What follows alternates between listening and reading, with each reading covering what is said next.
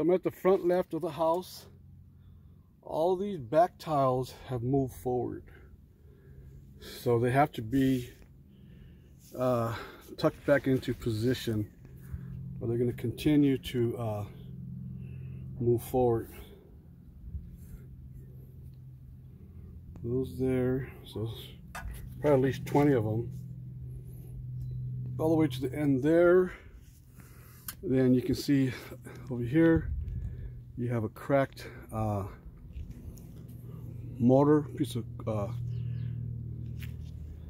that basically just secures that one tile to the tile below it. And you can see there's another piece just sitting there. So that also has to be uh, taken care of